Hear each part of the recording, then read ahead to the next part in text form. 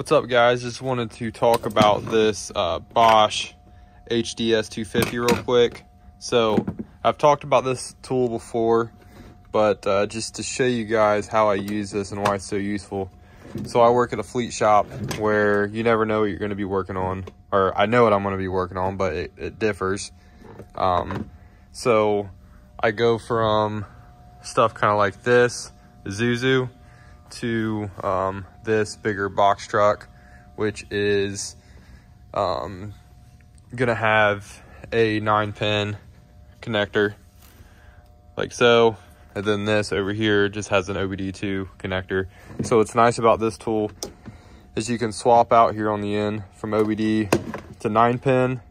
Um, now it's not gonna do everything. You know, it's not gonna do regens. It's not gonna give you everything you wanna see but what I like about this is in mornings like today, when I get here, I only have a few hours to get a, a game plan for the day and pick what I'm going to pull out of service and pick what I'm going to fix to, to run for the day. So this truck uh, had a exhaust light on.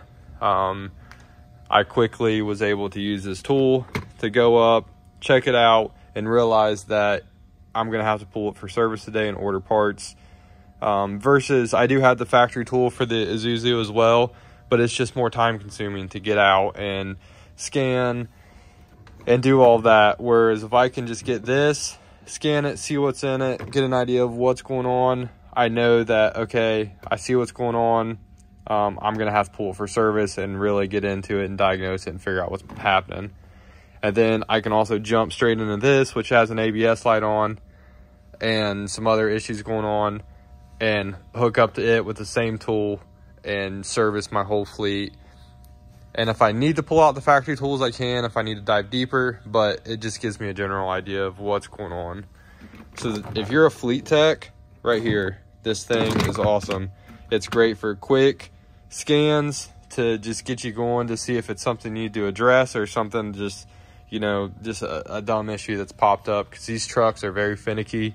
Um, I mean, any vehicle is finicky, so you know that if you work on these. But just a quick little uh, overview of this tool. Definitely check this out. It's a great option for a for just a handy scan tool to have. Here's just a readout of the 9 pin here, HD. Just kind of shows you some of the things I got going on here. Uh, the complaint was the ABS light on, so this is uh, that but you can just see it gives you a readout gives you an idea of what you got going on. Um, you can do lamp status. But super straightforward tool easy to use and just shoot you in the right direction and you know kind of know where to go from there